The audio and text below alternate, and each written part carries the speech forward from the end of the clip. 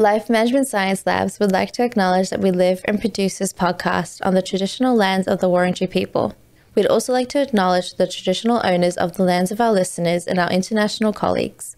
We'd like to pay our respects to the elders past, present, and emerging.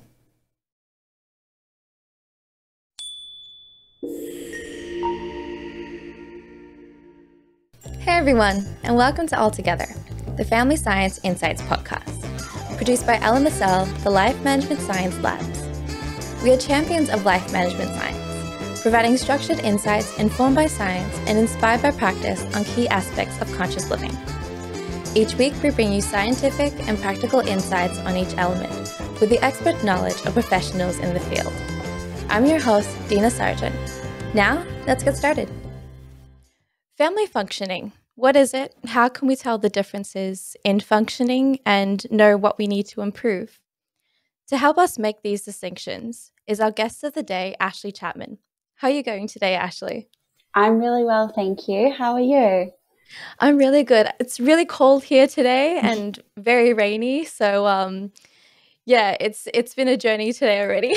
oh, of course, of course. And I must apologize for any background noise. I do have two kelpies in the back there, so they may join in at some stage. oh, we love that. We love when they come in, trust me. um, so do you mind telling um, the audience a little bit about yourself and how you've managed to get into this topic as well? Yeah, sure. So um, I actually started my mental health career working with children with autism um, in applied behavior analysis. So I was working in homes with young children um, and working on daily living skills and behaviors and things like that. And I really struggled with, um, I guess, how individualized the therapy was. Um, and so I had found functional family therapy um, and the rest is history. I sort of had it applied.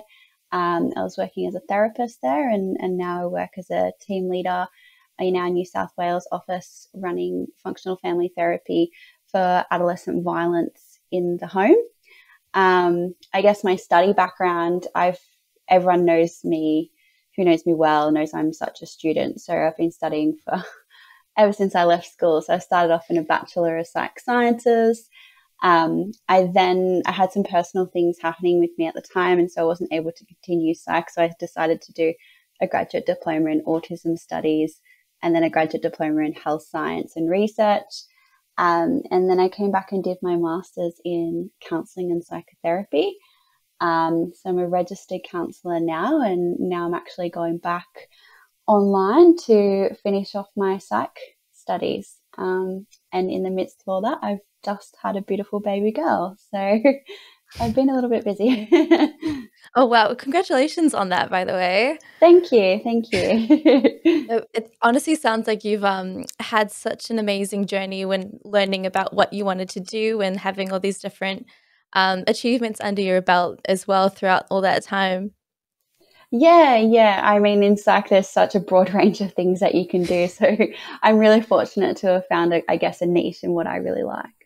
Yeah, that's amazing, especially now, especially after COVID and things, having all those things that's really helpful to talk about. And now that the conversations are coming up a little bit more than it was a few years ago as well, I think it's a perfect time to get into this. Yeah, for sure, definitely. Yeah. So, before we start and get a little bit more into the topic today, we love to start with a little icebreaker on five different things and different genres that um, just to see how your mind is and just for everyone to sort of know a little bit more about you without asking the questions about who you are. okay. All right. So the first thing is one of your favorite books.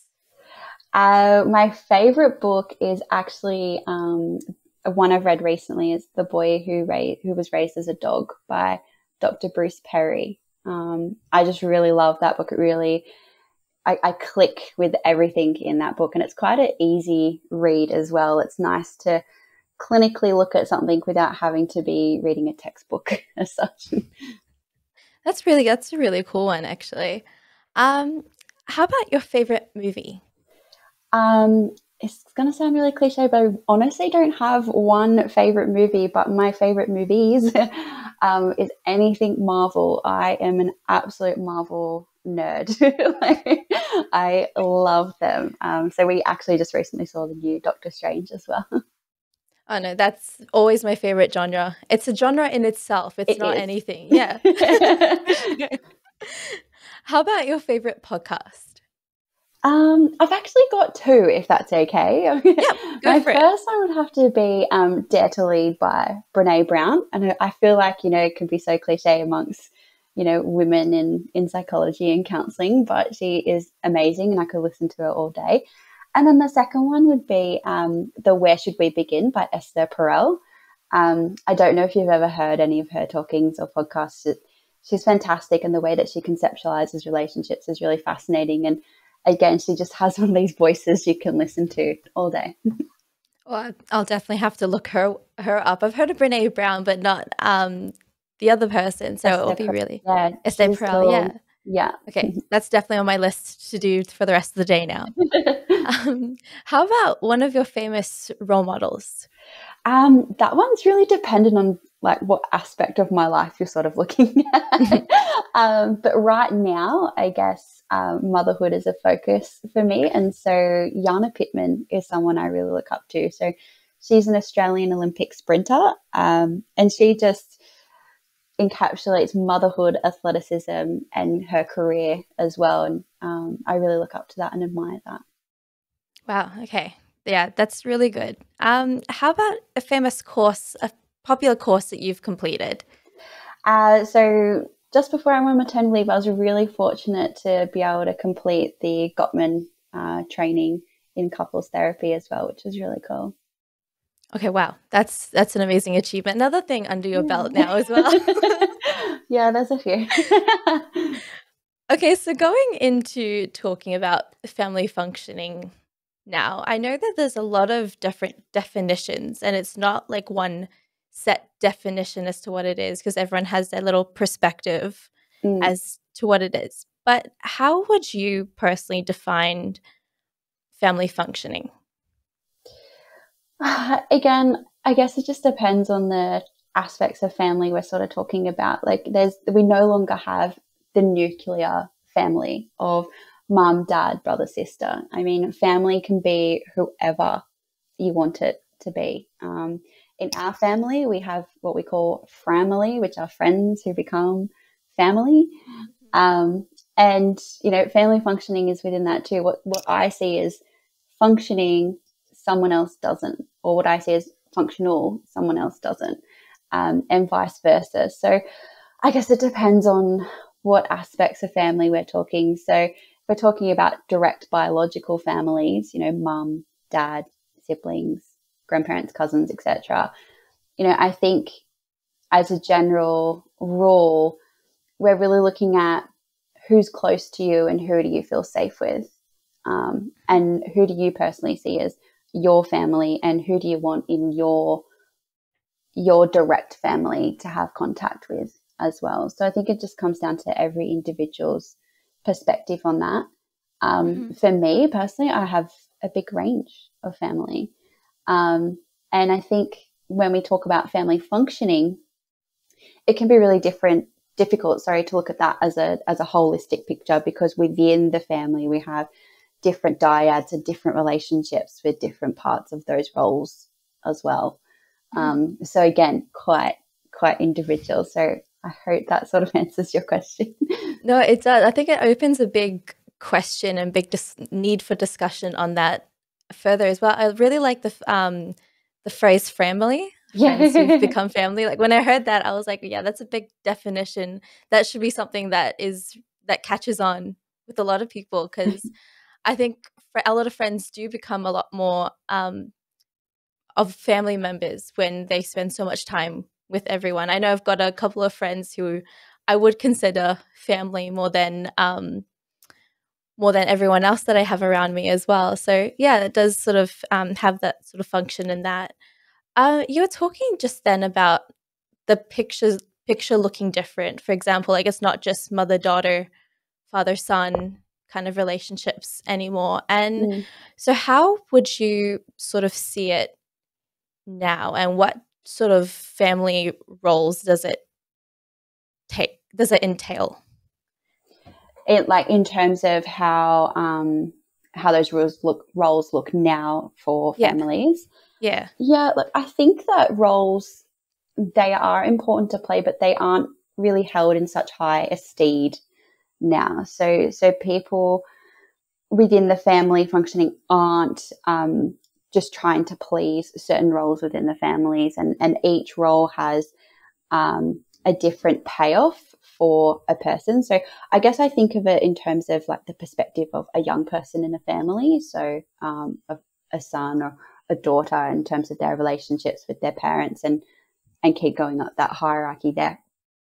And I think that every every role has its part to play, but I feel that we are much more on an equilibrium to one another as well. So it's this loyalty that comes for families is really something that is earned rather than given because you have a certain role. So just because you are mum, that doesn't mean you have all of this respect in the world from a young person anymore. It's it's really it's a dyad that needs to be shared and cared for and respected between each other rather than just I wear this hat and so therefore I play this part and therefore you would treat me this way. Um, we've really moved away from that, especially in you know our Western cultures as well. So why do you think that is? Because I know like a lot of a lot of it's changed. Has a lot of it changed because of the mental awareness that people are going into now, or does that have no kind of impact on it? I think where it actually comes from is a bit of ego, to Mhm. be honest. Um, so what we do see, and this is going to sound really harsh, is a lot of that egotistical parenting, where Okay. um, parents are sort of stepping into a space of demanding a certain level of respect because that's how it's been done. That's you know that's how I was raised. You you just automatically had respect for this person because of their title, and I think it's really peeing people off. um, and young people are sort of questioning that now. So I think there's much, there's a bit of a safety network to question the status quo. Um, and you see that amongst a lot of things, not just families and positions. Um, but I think it's, yeah, more people questioning the status quo to go, hang on a minute. You know, this is this is a two way street here in this relationship, no matter the role. Um, and you do hear a lot of um, you know, we, we do have more blended families now in terms of when families are divorced and separated, and we have that blend of, of new family. Um, and then again, that respect is earned, not not given per se. Mhm. Um, but I think within that, you have this, like I said before, that that equilibrium. So we're, we're moving to these modern eras of families where we're stepping out of the status quo and stepping out of the rules to go, this is this because of this. It's like, well, why? Why do we need to do that? I think also transgenerational trauma has a massive impact on that too. So when we're looking at generational trauma, people are stepping away from that. They no longer want to parent how their parents parented because actually that had an impact on me. Um, Mhm. You know, they, my my parent wasn't as present for me, so I'm going to step out of that and step into something else, a new narrative of parenting. I'm not going to accept that that's how we parent. Um, and a lot of things come into play with that too, especially with social media. Um, Mhm. I see that myself as as a new mum. I can even get caught up in social media, going, "Oh, okay, this is what we should be doing. This is how we should parent, and things like that." And there's a lot of people having a lot of opinions on what what we should be doing, um, and so that opens a wider conversation, really. And how would that affect families? Like having that the known to be different roles and the different roles that even a child would take on a parenting role, for example, and with their younger siblings. And how does that affect the family picture in a way? That's a really good question. I guess it really impacts that through the function of why we're stepping into those roles. So when you talk about the children stepping into um, parent roles or being parentified, as we like to say, um, a lot of that, you know, when we dig deeper, that's that's really coming from a trauma response and a safety response from that child. Um, they're fulfilling a void that hasn't been, um, you know, that something that the parent is lacking in or stepping away from. And it really just comes down to safety. Um, so children step into these roles to maintain the status quo of the family functioning. And if that status quo is upheaval and and arguments and really heated times amongst them, they will step into that and elevate that to maintain it. Um, or we could retreat to maintain a sense of silence as well, because that's how that's how we get along best. That's how we move forward best. Um, so children are really intuitive in terms of what's going on, and they will inadvertently step into those roles to to maintain that status quo. Mm-hmm.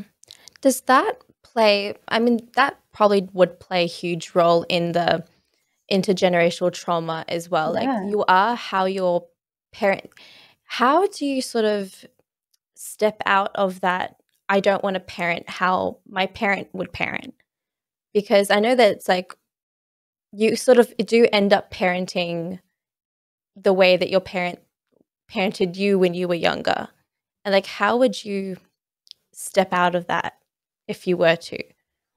Yeah, I guess it's something that we're always on a journey on anyway. And I think you don't really notice until it pops up for you, until something raises its ugly head where oh gosh, that was, you know, that was like that. And I really didn't want to be that person but it really is about being present to notice those times and catch those times so then you can look at it and reflect on it and do something differently.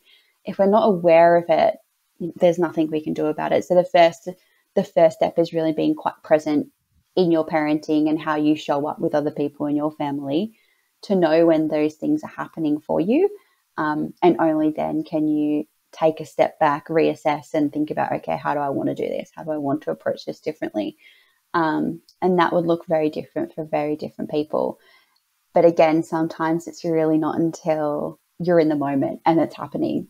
Um, or even maybe it takes that comment from your partner that you really don't like to really go, oh, okay, right. Yeah. Um, but it, the the essence, it really just comes down to being quite present.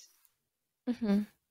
Um, so, in your sort of the work that you've been doing recently, how would a functional family look like in like an ideal picture kind of perspective? Um, I think like I, I do think on this, you know, like what does a functional family look like? And it, it feels we get that question when we step into families and they're like, you know, what are we going to look like at the end of this? Like how how should we how should we look? And people think of that perfect Brady Bunch style, happy go la family. Um, but I think a fam like I think personally speaking and speaking from what I've seen, I would say a functioning family is one that feels safe, one that can repair and move forward without ambivalence. Um, and one that doesn't sweat the small stuff, you know, because you're going to argue. Uh, that's totally okay. You're human you're totally going to argue, but do it a little better, you know, repair from it. Don't hold grudges. Um, and one that can, I guess, make decisions and problem solve and maintain the relationships with each other, no matter what that looks like. Um, and again, like just really highlighting safety. So a functioning family is safe emotionally and physically, first and foremost. Mm-hmm. Okay, so with there's like a lot of i mean there's a lot of characteristics when it comes to what a family should look like. Yeah. How how would you i know like support and love and having that security that you were just talking about. What are the like negatives if one of them isn't sort of one person in the family isn't sort of playing that role that um can create that kind of that kind of security in a family? Yeah, so I guess the first thing that comes to mind again from from my background is when a parent isn't um, stepping into that, and then often like we like what we spoke before, a child sort of steps into that. But I guess when we started and you had asked me what does a family look like and what does that mean, and and I mentioned family, normally you'll find someone else to step into that position.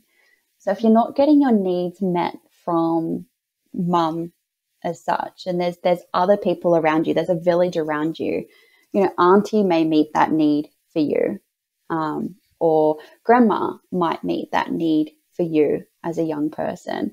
And so it's really important that family is extended because it takes a village. It really does. Um, and that way, you know, when we when we step outside of a nuclear family, mum, dad, two children kind of thing, and and we open the doors to what family looks like. When a need isn't being met from one relationship, we can seek it in another, and that's perfectly okay. It is mm-hmm. perfectly mm-hmm. fine um, because our need is still being met by someone who we're attached to and we love and care for. I hope I hope that sort of makes sense yeah. a bit. yeah, I think um but will it sort of in a way negatively impact a, a child? For example, like in you're talking about you find it in someone else. Mm-hmm. When you sort of find it in a relationship, like from indirect experience, I've sort of seen how this how this has happened and just with like how you don't get your needs met by a parent or by person in your family um, for example a father you go look into for a, in that in a relationship and that can sort of end up with a lot of um, negative expectations on what a relationship should involve for yeah. example yeah yeah for sure that absolutely absolutely can happen which again, it's so important that young people have just more access to the other adults and other family members. Um, so then, you know, it's less likely to be sought socially further on down the track. Um, you know, they we, we can have all of our needs met as children.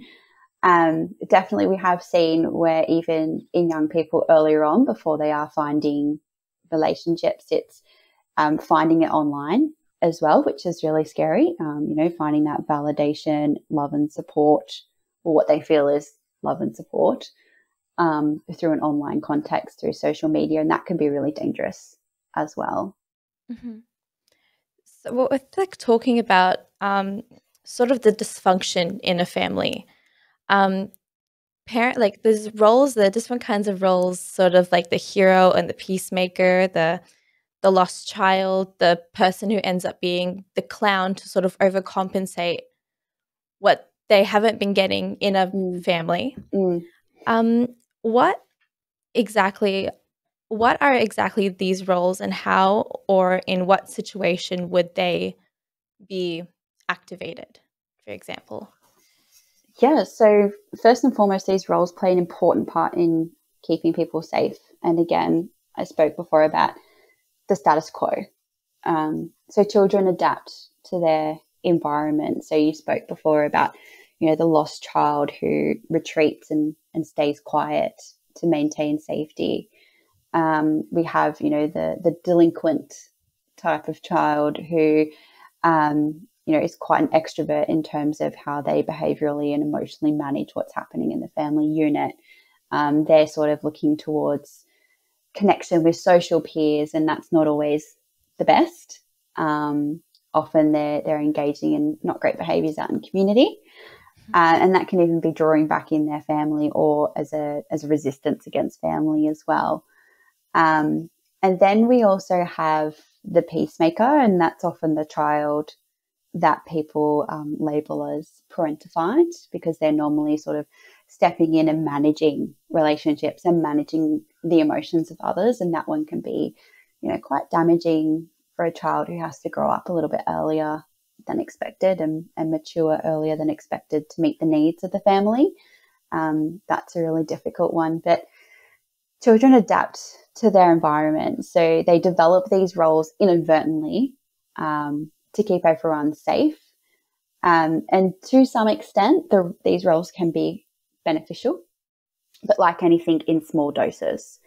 Um, mm-hmm. so, you know, it's always fun to have the, you know, the funny kid in the group or the funny kid in the family, but to what extent um, mm-hmm. are we mm-hmm. looking at and, and how much is that impacting their personal development and their relationships? And, you know, is it, is it something that we're all grounding in and, oh, you know, Johnny, he's the funny one. We love him for it, blah, blah, blah. Or is it that he's being a pest? now because mm-hmm. he's he's always joking around and things like that.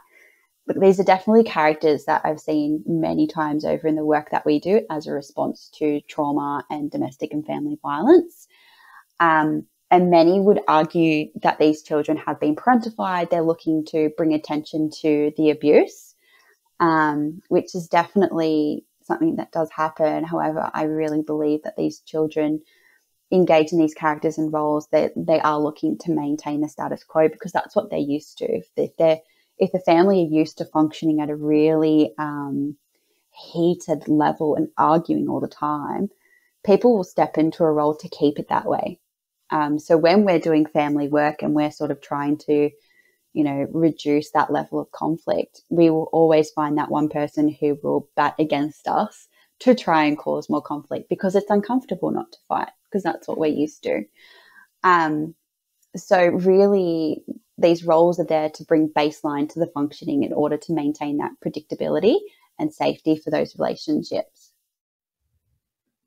So, how would you notice, for example, like you see a child who you're talking about the clown or the person who's overcompensating mm. for trauma? How would you notice the difference between, okay, he's just having fun, okay, or there's actually something going on that he's trying to hide himself away from? Yeah, so what we um, generally work with is what's the function of that behavior. So when Johnny engages in that behavior, what's the response he's eliciting from other people? Are people being drawn in or are they being pushed away? So that's the first and foremost.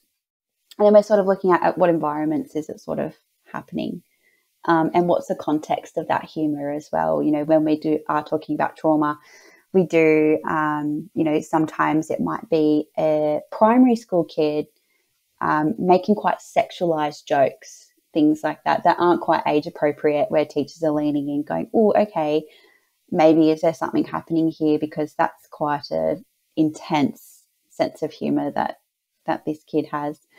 Um, so there's, there's a lot of things that we would sort of look at to see, okay, where are we bridging that line? Um, but it's not any one of us that gets to decide what that line is. It's definitely a community type response. And it's about what response are we eliciting from the family too, um, in terms of those relationships. So again, are people being drawn in when when those behaviours arise, or are they being pushed away?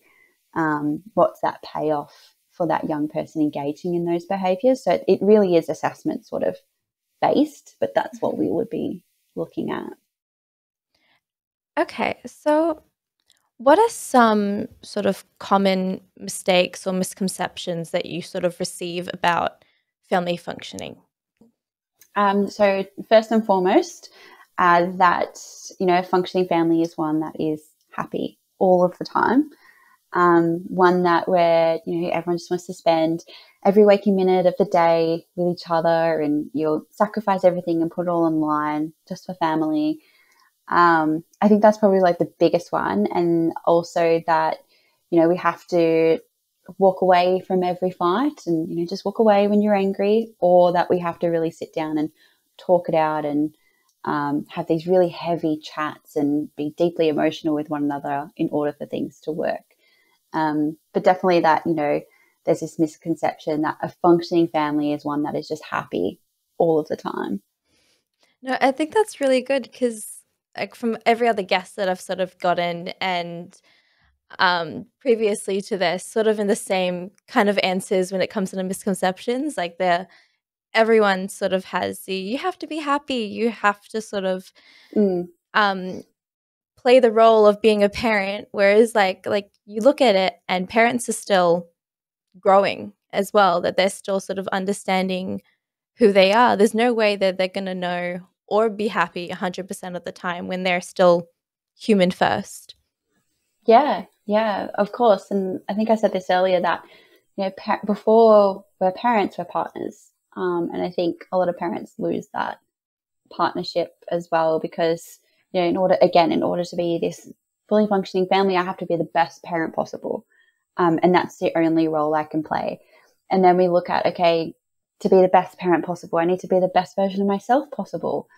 but then we forget that there's this in between of this partnership that you have with this person as well, um, mm-hmm. which was the foundation for for the family in the first place. So there's a couple of roles there, but there's definitely a lot of shoulds that follow follow with those roles. You know, I should be the best mom and most present mom. Um, you know, I shouldn't have a career. I should only want to be with my children. Um, things like that. And, you know, for dads, you know, I should be working, but actually I want to be at home with my children. Um, so there is a definitely like a push and pull through that. And, you know, we were discussing earlier that maybe this online space is going to be really cool for parents to be able to be a lot more present in the way that they want to be, but also have their careers as mm-hmm. well. Um, and again, just challenging that status quo on like what is a functioning family. How accepting is has society been to the whole role shift that's been going on? For example, like the mother goes out to work and the, the father stays at home. Like, is that still something that's a huge struggle for people to sort of accept as the new normal, or is it something that everyone is willing to sort of see? Yeah, I think people are willing to willing to see it. I think they're still quite shocked though when it when it does happen. I can give you an absolute classic example when um, my partner was applying for his paternity leave. So um, dads get the two weeks off um, paternity leave, government funded, and he applied for an extra two weeks. Um, so he wanted to take the whole month of our due date off. Um, and his work response was very much so, why? You know, they're, they're very male dominated um, workspace. Now, you know, why is, why do you need to? Why does she need you that long? Is everything okay? And he's like, no, no, I just want to be at home with my newborn baby and my fiance. I don't, I don't want to rush. it. I don't want to have two weeks and then come back. Like I want to be there for that time. And mm-hmm. um, even amongst some of our friends, it was, oh, oh, okay, right, that's cool, but wow, okay. It was. It's just seen as this quite shocking movement that a father would want to be at home with his mm-hmm. baby as opposed to be at work. Yeah. Um, so yeah, I think people, like I said, are willing, but it's still quite a shocking, shocking thing for them. Um, and it, it is interesting, and it, it, I think it's something that you know we all know is there, but you know, you see dad pushing the pram down the supermarket, and everyone's you know all about kissing his feet about how amazing father he is, but you know, mum does it and no one blinks an eye because she should be doing that. But if dad's doing it, it's wow, he's stepping into this space. How amazing.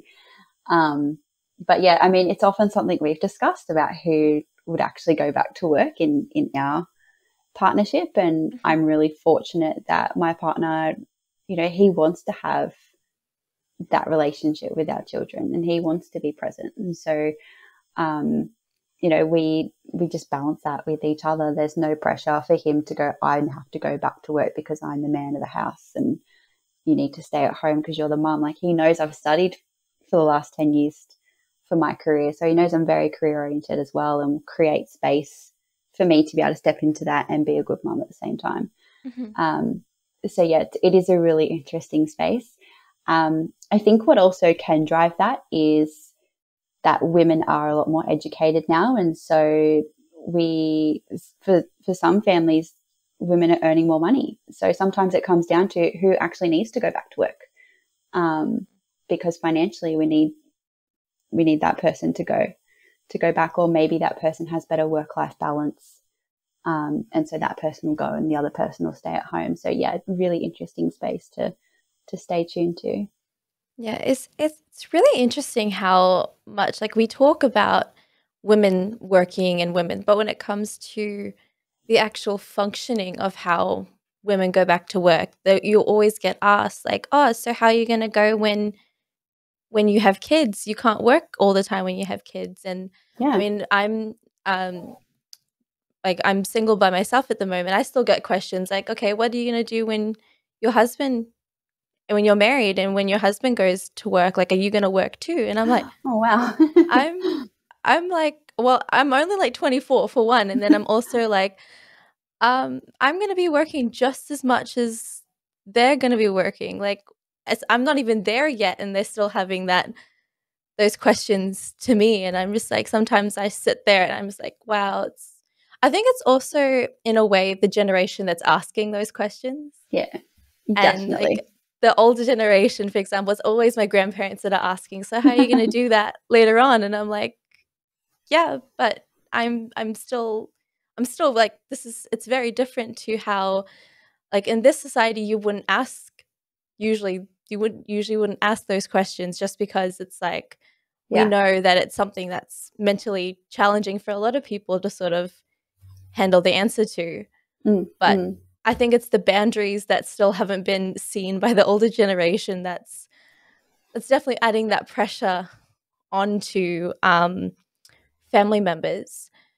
Does that have like the intergeneration that sort of live in one house, for example? Mm. Does that sort of have a big impact on how a family functions?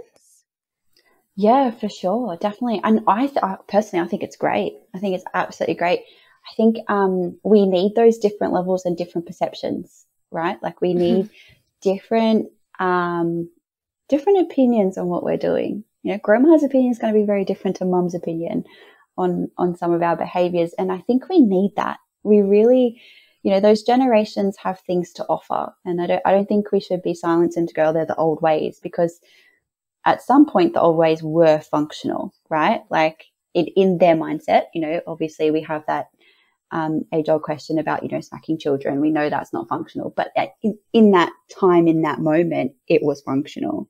Mm-hmm. Um, we know that now it's not, but it's, it's just good to have those different perceptions um, because that's what's going to keep us grounded. You know, we can't lose those voices either, even though we don't always agree with them.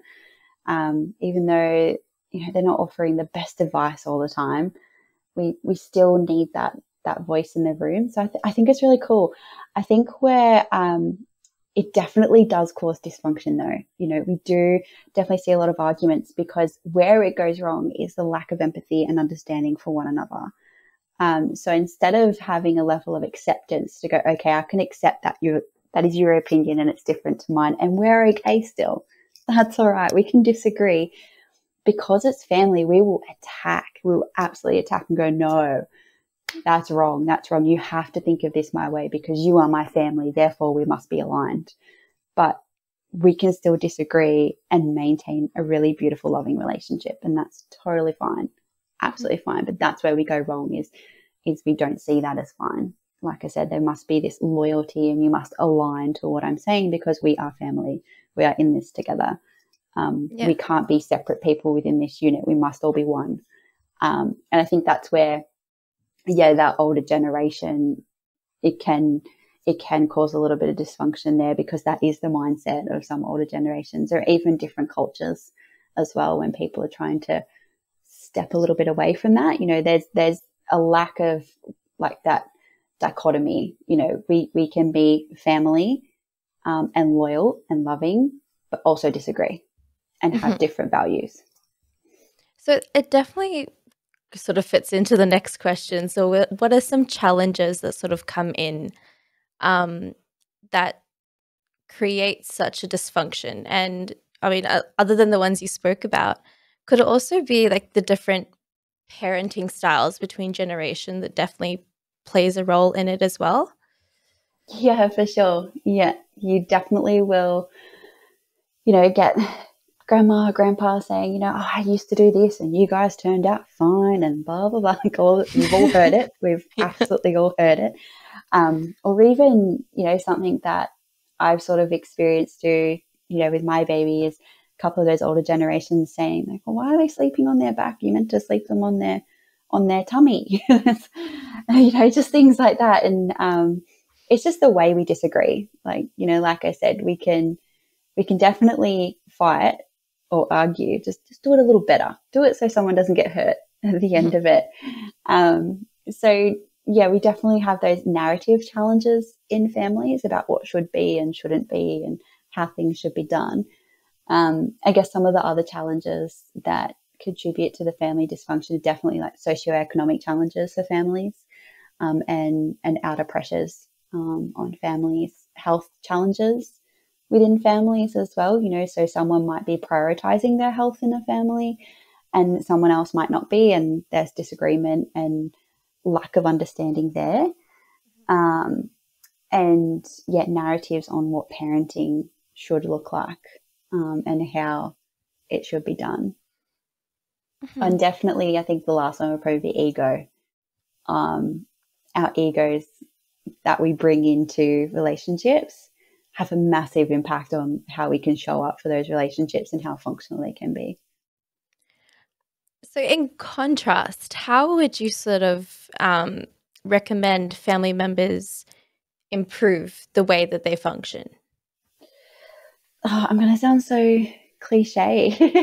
like, it really just comes down to communication. So, um, I actually stole this from a colleague. Um, this saying of connect before you correct. Um, and what we're looking at is is disarming people.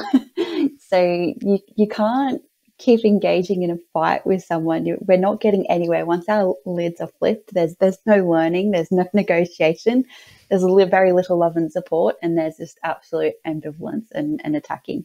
Um, but if if we can just connect with each other before we then have that discussion of, hey, I disagree with you, and this is why, then we're gonna we're gonna disarm someone. You know, we're I'm not going to go into bat. So communication first and foremost that and the way that we would do that is is just validation. Just step into their shoes for 2 seconds. You know that I'm hearing you. I understand that's really difficult for you. Here's my thing. Here's my opinion about it. But disarm them first. Get that person into a space where they're willing to listen to what your opinion might be. So so say if it is, you know, a grandma and she's like I said, she's saying, you know, sleep sleep baby on their front. Why are you sleeping them on their back? Oh, they're so spoiled. Or don't hold baby all the time. You'll spoil them, and and things like that. You know, just validate. You know, oh, I get that that worked for you, grandma. That's really cool. Thanks for that advice. But this is what we're going to do. You know, completely disarm someone. They can't come back at you when they've when you're validating, when you're validating them, and when you've heard them. For sure. Um, so going to talk about practices and habits that involve um, family functioning. What are some of your personal practices that you do to sort of deal with um, how you would function with your family? Something, yeah, so something that we do, I guess, in two aspects of our family um, is the traditions so we have little family traditions which builds up our good tickets and our positive experiences of one another. So then the big stuff doesn't seem so big, you know. Um, we have a lot of positivity. It sounds very fluffy to sort of ground us a little bit. So the, the traditions I'm talking about is, um, for example, I spoke about parents or partners before their parents. Um, so something that's really important for my partner and I is that once a week we we do Wednesday nights. We we have a date night, and it's not the cliche. We go out for dinner, we go to the movies, things like that. Our date night just involves us being present with one another because you know Monday through to Friday it's home from work, dinner's on, all the stuff above, bed, right? Like there's there's no connection. There's just routine and your robotic movements going through that routine. But on Wednesday nights, we slow it down and we just are absolutely present. So we don't really have screen time. We don't really um, go on our phones, things like that. We just try to be there for one another. We might get takeout that night. Um, or we might, you know, if we're feeling really socially spent or emotionally spent from the day, we might just watch a movie together in silence, and that's okay as well. Um, in terms of the broader picture for our family traditions, we do Pancake Sunday every Sunday. Um, and that sort of, you know, my dad and my stepmom and my brother and sister, um, they had sort of started that. And I guess how it's helpful is it gives you something, it gives grounding to the family. This is what we do. It gives identity, you know, something to always fall back on. We do Pancake Sunday. That is our thing as a family. That's what makes us unique. Mm-hmm. Um, so family traditions is really important. Just they can be really small, absolutely so small. I have I had worked with one family that they swore at each other like buggery. And going in as a therapist, you're like, whoa, what is this? but that's actually how they communicated. And mm-hmm. when you, and that's how they had fun. It wasn't dysfunctional for them. They weren't, they weren't finding hardship or bullying or belittling in that. I would find it if that came from my family member. Yep. But it's what made them unique. Mm-hmm. And, mm-hmm. you know, it's what grounded them and drew them together. This is what we do. This is how we banter. Um, so yeah, it's really important that we have those like good tickets and we build up those good tickets. So when we have to hit the hard stuff, we're we're resilient to it. We've we've got some good tickets in our backpack to sort of help us move through that. That's that's a really interesting. I really love the idea of um, pancake Sunday. Yeah. uh, so like you know um, we have like the burger Saturday where we're sort of just um, everyone's doing their own thing. We know okay, out of every other day we can do our own thing, but Saturday night is like the night where we're sitting together and even just sitting in front of the TV while eating dinner and okay, we have each each week we have like a certain person picks out the movie as well. Oh yeah. Our tradition being like, okay, there's a new movie on Netflix. Okay, we have to all sit down and watch that. And yeah, you know, to all a lot of um the people that I'm friends with, they're like, so you actually spend time with your family on a Saturday night? Like, I'm like, what? That's like, that's like the coolest part of the week, coolest day of the week, where I was like, we're all we're all at home, we're all doing one thing, and we all know where each other are. Like every other day of the week, I can go out, but Saturday night, all of my friends know that that's the night that I'm just with my family, where it's yeah. the four of us, and all of us just having a good time. And it's the way that it's always been. Um, I think lockdown is where that took place, where it started. Um, just sort of having that time. I mean, everyone's at home, but everyone's sort of at home in their own space. Yeah. Yeah. Yeah. So, yeah. yeah. Definitely. Definitely. Yeah. So, like, there's many advantages to to doing those little family traditions um, as well. It's definitely something I teach in in my practice and work with families. You know, finding what makes you unique and and your family time unique, and it doesn't have to be absolutely unique behaviors. You know, like watching a movie, um, eating dinner together, things like that. Like, there's a reason why nearly every family therapist you come across will suggest eat dinner at the dinner table first and foremost. You know, create a space for those chats I we personally don't. We we sort of sit in front of the telly, yep. but you know that's that's what we like to do. Like we like to watch certain shows together, so we will wait. You know, if my partner's away, oh, God forbid if I watched a telly show that we're watching together without him. You know, like Grey's Anatomy, oh, can't go ahead. But you know, like we that's our thing, and I think when you have those things that identify your relationship it's really important. It's really grounding. You know, this is what we do. Mm-hmm. Um, that sense of belonging is massive for families. You know, this is what we do as a family, even if it's a, a once a year thing. You know, it might be every year at Christmas. This is what we do. This is this is how we do it. You know, my my partner's family, or the in laws do their breakfast thing, but every Christmas dinner is at Nan's house for all of them. It's like it's like a non-negotiable unless you're heading overseas for a family thing yeah. and you physically can't be there.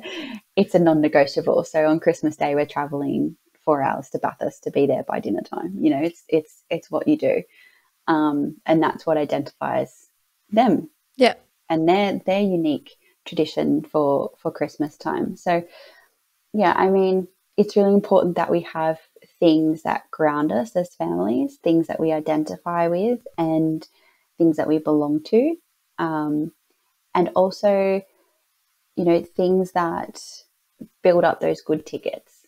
Because, like I said, when we have more good tickets, mm-hmm. um, or as Gottman would like to say, that positive sentiment override, where we just have more positivity than negativity, then when the negative things happen, they're easier to deal with because they're going to happen. Let's just make them a little easier to to move through. Mm-hmm. How well, we're talking about all the good things about having traditions. What are some challenges that take place when you have those traditions?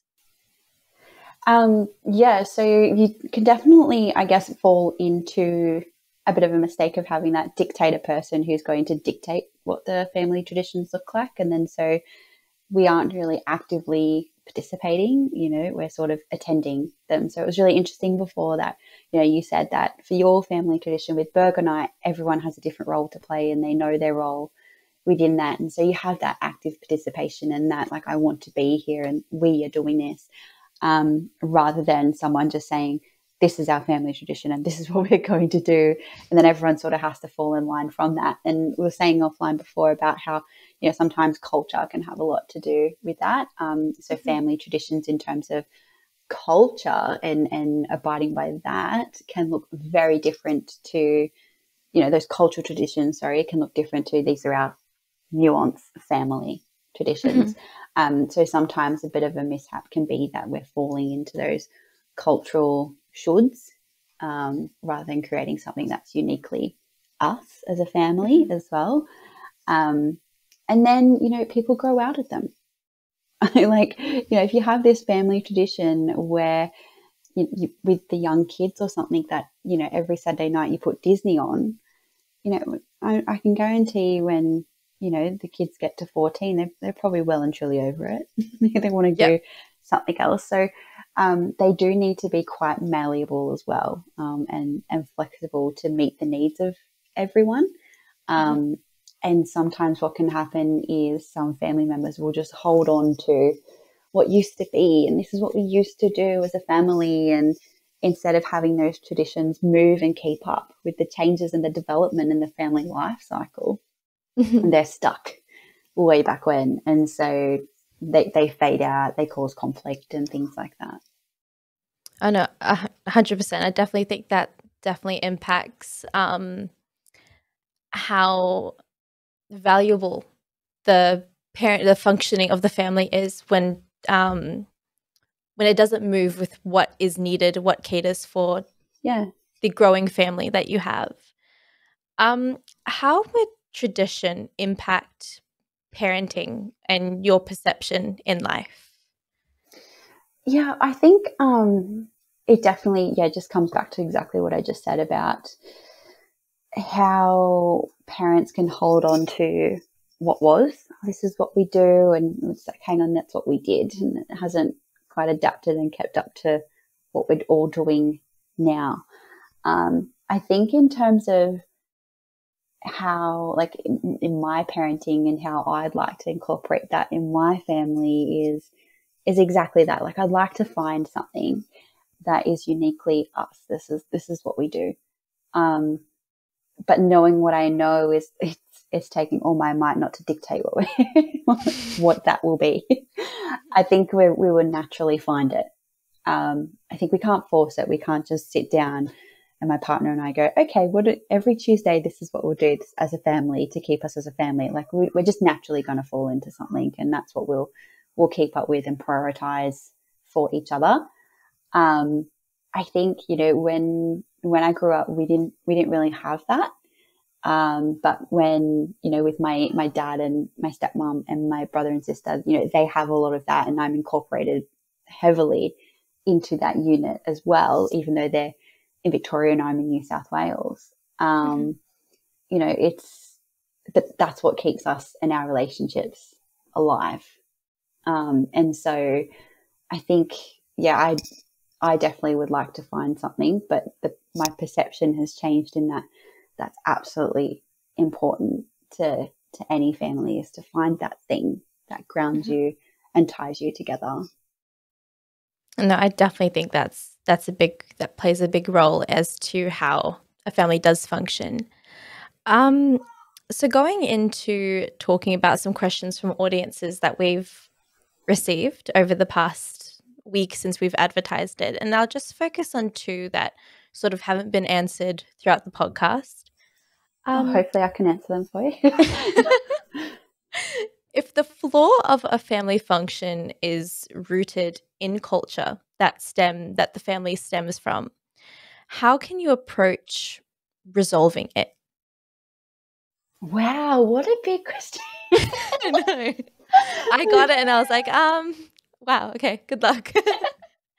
no. Okay. So, like, I that that word flaw for me, that's such a heavy word. It's so heavy, you know, to say that there's a flaw in in cultural practices, um, and that so we're saying that cultural practices are impacting dysfunction in the family or directly causing dysfunction in the family. Um, that's sort of how I'm interpreting. Yeah, I think I think so. I think that's how it is. Yeah. So I guess um, you know, as I, I guess I have to acknowledge, you know, my white backpack that I wear in answering this question as well, and in terms of you know coming from coming from that background and that lens, we don't have a lot of cultural practices that impact how our families should or should not interact and work and function. Um, and so, but what I do see a lot in my work, and we do work with a lot of um, Aboriginal families and CALD families. Um, the first thing that we do is is listen and hear that person out. So normally it's one person sort of really driving that cultural um, tradition and that cultural practice onto the rest of the family. And there's normally a couple of people that are sort of trying to step away from that and go, that's old, this is new. No. Um, the first thing that we sort of do to to alleviate that is to just bring about that understanding and that compassion and empathy for one another and understanding where that's coming from you know that that cultural practice and tradition serves a purpose is that is that trying to gain connection and if so, are there other ways that you might be able to gain connection that isn't putting everybody in the family offside? Mm-hmm. Um, but I think as a practitioner going in and talking to those families, you have to be really aware and just have that level of understanding and match to that family. If it is something that's really important to them, then we respect that. We we aren't going to take it away from them. That has grounded that person with their family unit for such a long time, and that's why it's you know, being driven really hard onto the rest of the family. Um, and I think it's just again about that communication. So who are we as, especially again, I wear my white backpack when I walk into these families. So who am I to say that that cultural practice is wrong? Unless it's directly causing harm, then we would definitely say, "Hey, we need to we need to look at this." But if it is not causing harm and it's just a disagreement type thing, um, then who am I to say that that's wrong? Right? Mm-hmm. And so what I would do is upskill the family with their communication skills to talk it out with each other. So they feel safe enough to go, Hey, grandma, I don't agree with that anymore. And how are we going to problem solve around this? How can I mm-hmm. maintain mm-hmm. connection with you and maintain connection to culture without having to do this practice that I really don't want to do?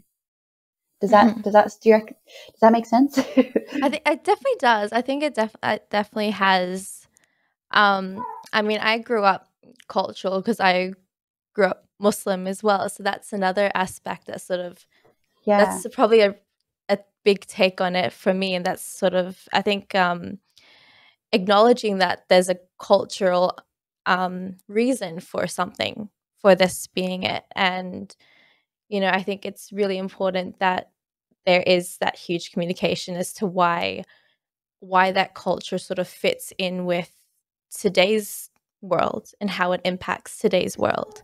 Yeah, yeah, yeah, for sure. So the next question is what is one behavioral approach to enhancing communication with family members that are convinced they are always right? Oh, yes. This is this is like this is okay, this is where ego comes into it, right? Like, you know, I am right, you are wrong, or I am mum or dad and you are child, so what I say goes. Mm-hmm kind of thing. Yep. Um, so something, oh gosh, there's so many that are sort of I'm trying to think of like, but the, the main one is connect before you correct. So what you're trying to do is go, you are wrong, I am right. Therefore, I'm going to place my opinion on you, and I'm probably going to be really loud and obnoxious about it, and that's going to put you offside. Mm-hmm. um, and now I'm just going to shut down anything that you bring to me because I am right and I will not hear it any other way.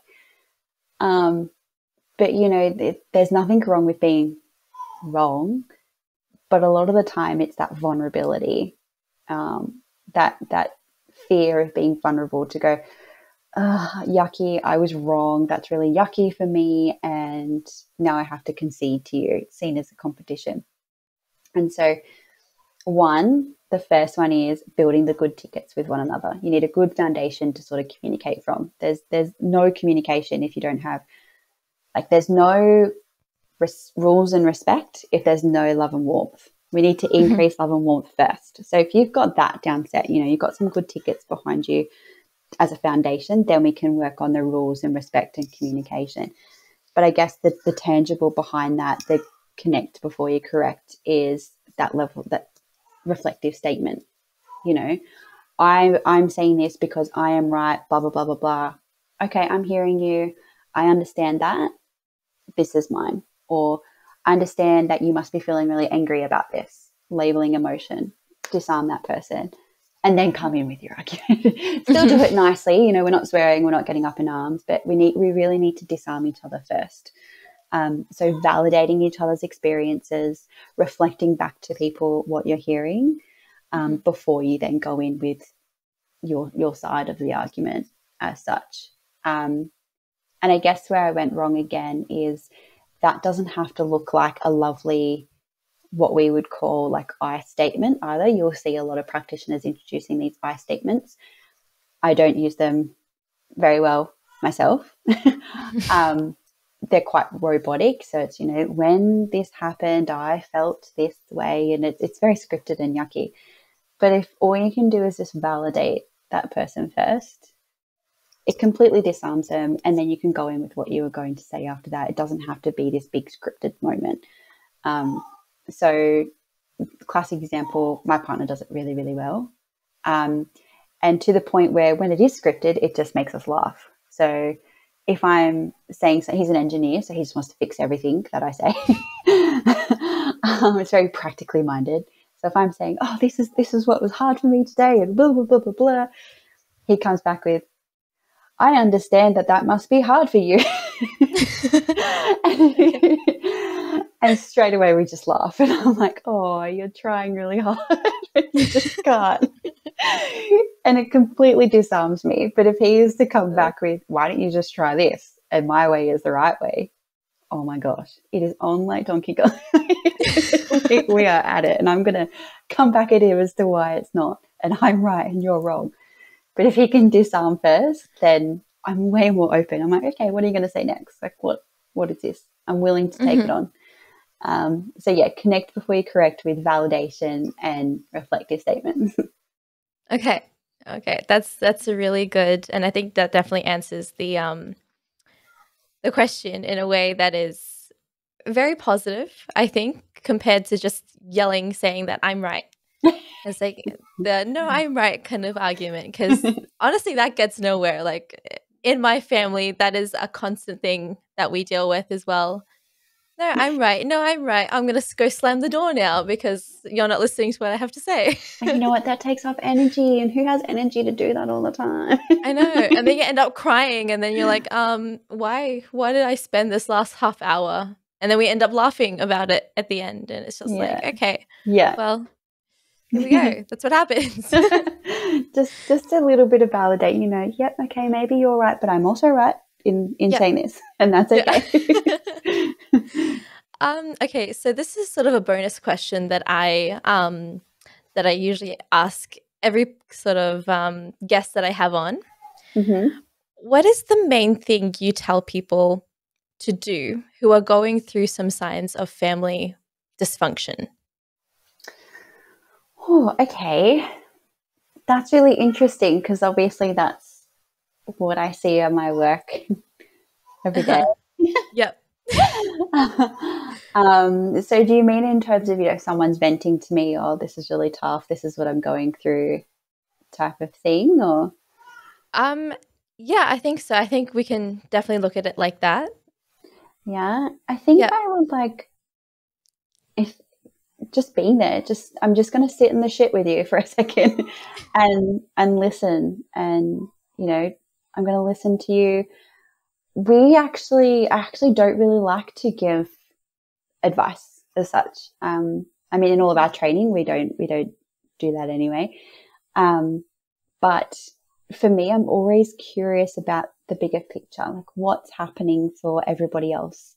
This is yeah, this is your side of the story, but what's what's mum's side of the story or, or dad or, or brother or sister or whoever it might be mm-hmm. what else is happening you know what and then i'm also curious about what narrative you hold about that situation too what judgment you're bringing to it so you know i guess um, i'm a little bit more critical and looking at the bigger picture um, so I don't think like sorry to not really answer your question, but we don't I wouldn't really tell someone to do this or this um, mm-hmm. because the other thing is for some people leaning in is is what they really need. They need to chat it out. They need to vent to that family member and tell them what's going on. Other people are okay to walk away from that and not discuss it again and still be okay with it. Um, so it's not one size fits all. It's really assessing the situation as it sort of comes. But I guess I just, yeah, be more curious about what narratives are you bringing and why is that so hard for you? And mm-hmm. What's everyone else's role to play and what's their narrative they're bringing to that too? No, that's a really good way to, um, that's a really good way of looking at it, a really good way of sort of dealing with dealing with someone who you see is going through a little bit of trouble in in any kind of way as well. I think that's a really good way to hold it. Um, yeah. yeah. I want to thank you so much for coming on today and answering all these questions and helping us sort of define what family function or dysfunction is. And to sum it up, there is no there is no clear answer. yeah, I don't know if I helped anyone there. I think I just maybe confused everyone more. no, I think you definitely helped, especially when it comes to the. Um, I really liked the traditions part that sort of plays a big role as an activity for family function, and yeah, that that definitely and i know that this will definitely help a lot of people who are going through it. I'll i'll definitely push a lot of my friends to like have a listen to this now and like listen how how it's defined um yeah so thank you so much for joining me today. Yeah thank you so much for having me. You know it's been really special to be able to come on and chat about something i'm so passionate about and hopefully yeah someone can make sense of it all no, don't worry. We'll have the um we'll have the translation at the bottom of the screen. So yeah, Ashleigh means this. yeah. All right. I want to thank everyone for listening today, and I hope that I I mean I know a lot of you have um who are listening. It will definitely help a lot of you, and it's definitely helped me in understanding what family function and dysfunction is, and knowing the signs and all these other things. So, yeah, if you want to hear more about it, definitely go and um, search for Ashleigh Chapman. Is there is there a way that people can contact you if they want to discuss this with you? Yeah, sure. Um, but probably the best one would be via um, my LinkedIn, which is yeah, just Ashleigh Chapman on LinkedIn. You'll find me in there, and you can chuck us a message through there. Yep, sounds amazing. So yeah, if you need any, if you want to talk about this more with Ashleigh, definitely go and go to LinkedIn and yeah, just um just message her. So yeah, thanks everyone for listening, and I hope you guys enjoy the rest of the day. Thank you. Right, I do have to go to the baby now. yeah. See you guys. Okay. Thank Bye. you. See ya. You've been listening to All Together, the Family Science Insights podcast, produced by Family Science Labs a division of LMSL, the Life Management Science Labs. More episodes are available from 10 life management perspectives and can be found by searching LMSL on Apple Podcasts, Google Podcasts, Spotify, and other podcasting apps available on your smartphone. If you enjoyed this episode, please rate, share, and subscribe to our channel so that other people can find it and we can continue to provide quality content. More of our work can be found on our website at fa.lmsl.net where you can join our movement. I'm Dina Sargeant, and thanks for tuning in.